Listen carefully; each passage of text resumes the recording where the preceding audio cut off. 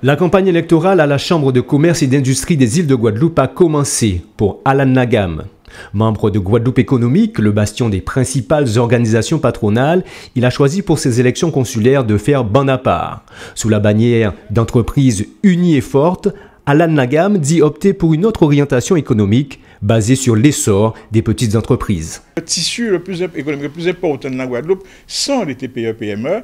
Et aujourd'hui, où on constate qu'une absence totale de développement, de relance de la production euh, en Guadeloupe, une difficulté économique euh, euh, dans les entreprises, des villes comme Pointe-à-Pitre-Basse-Terre où rien ne se passe. Donc, euh, peut-on encore dire qu'on va laisser certaines personnes vouloir diriger ou alors porter leurs affaires personnelles au sommet de la Guadeloupe? Non, je pense qu'aujourd'hui, il faudrait que l'intérêt général prime.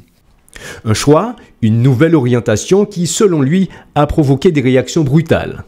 Madame Coury a choisi euh, de jeter euh, la, FTPE, euh, FTPE, en dehors des murs de la Chambre de commerce. je pense qu'elle a affiché un désamour de la TPE.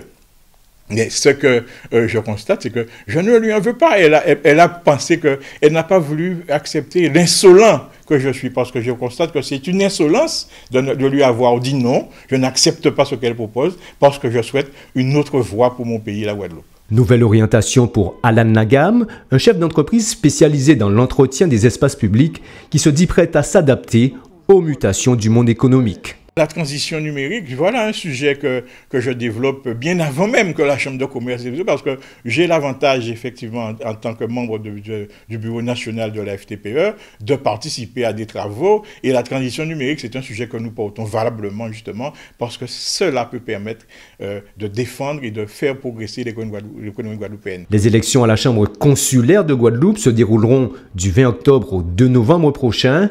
Elles mettront en lice entreprise unie et forte menée par Alan Nagam et Ensemble pour les entreprises de Guadeloupe sous l'égide de Guadeloupe économique.